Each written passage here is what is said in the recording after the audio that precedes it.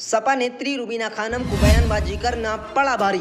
अलीगढ़ की समाजवादी पार्टी महानगर अध्यक्ष पद पर तैनात रही। सपा नेत्री रुबीना खानम को आए दिन बिना अनुमति के बयानबाजी करना इतना भारी पड़ गया कि शनिवार को सपा के मुखिया अखिलेश यादव की स्वीकृत पर सपा के प्रदेश अध्यक्ष नरोत्तम उत्तम पटेल ने रुबीना खानम को अनुसारहीनता की बात कहते हुए पद मुक्त कर दिया है। पत्र जारी करने के बाद सपा नेत्री रुबीना खानम ने कड़े शब्दों में कहा है कि जिस देश में मैं रहती हूँ, उस देश की बात मुझे करनी चाहिए। ऐसा करने पर पार्टी ने मुझे पद मुक्त किया।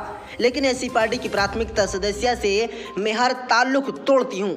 गौरतलब है कि सपा नेत्री रुमीना खानम ने हाल ही में 18 मई को एक वीडियो बयान जारी किया था जिसमें ज्ञान व्यापी मस्जिद को लेकर कहा था कि हमारे मुस्लिम धर्म गुरुओं को सोचना चाहिए। अगर हमारे किसी शासक ने बलपूर्वक मंदिर पर कब्जा कर मस्जिद बनाई थी तो हमें इसे छोड़ देना चाहिए। दूसरे धर्म की आस्था को कुचल कर मस्जिद बनाना इस्लाम के सिद्धांतों का उल्लंघन है। सुप्रीम कोर्ट के समक्ष पूर्व विवाद की न्याय, संगत निष्पक्ष जाँच। हो अगर जाँच में सिद्ध होता है कि यहाँ प्राचीन मंदिर था तो स्वेच्छा से मस्जिद दूसरी जगह स्थानांतरित कर हिंदुओं को ज्ञान व्यापी की ज़मीन लौटा कर गंगा जमुना सरस्वती की मिसाल पेश करेंगे। वहीं इससे पहले 18 अप्रैल को लाउड स्पीकर मामले पर विवादित बयान देकर एकदम से चर्चाओं में आ गई थी। इसी वक्त उर्बीना खनम ने जारी बयान में कहा था कि हिंदूवादी ने अगर मुस्लिम धर्म को टारगेट कर मस्जिदों पर लगे लाउड स्पीकर उतरवाने की कोशिश की तो सैकड़ों महिलाएँ मंदिरों के सामने बैठकर प्रदर्शन करते हुए कुरान पढ़ेंगी। इसी बयान को दोनों ही धर्मों के लोगों ने आलोचना की थी। दोस्तों, शनिवार को समाजवादी पार्टी महिला महानगर अध्यक्ष के पद पर हटाने के बाद रूबीना खानम का बयान आया।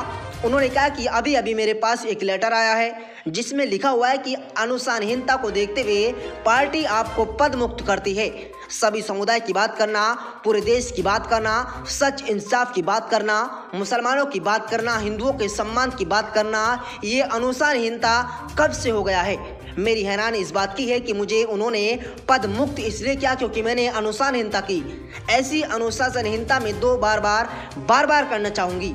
अब मेरा समाजवादी पार्टी से रहने का कोई मतलब नहीं है।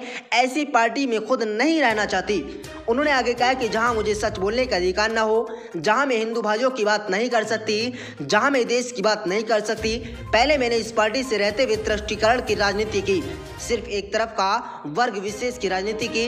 लेकिन जब मुझे ज्ञान हुआ कि मेरी आत्मा ने मेरी जमीर से कहा कि मैं जिस देश में रहती हूँ, उस देश की बात करनी चाहिए। जिस देश का मैंने नमक खाया है, उस देश की बात करनी चाहिए। मुझे किसी पार्टी की बात नहीं करनी चाहिए। अरे, सबसे बड़ी बात तो यह है कि जिस पार्टी में बहू का सम्मान नहीं हो सका, अपर्णा यादव का सम्मान नहीं हो सका, वे पार्टी मेरा क्या सम्मान करेगी? ऐसी पार्टी की प्राथमिकता सदस्यता इस्तीफा देती हूँ। ऐसी पार्टी में कभी रहना नहीं चाहूँगी। मैंने अपने दिल की बात कह दी है तो मुझे पार्टी से पद मुक्त करा दिया गया। रुबीना को आज प्रदेश अध्यक्ष पद पर नियुक्त किया गया है।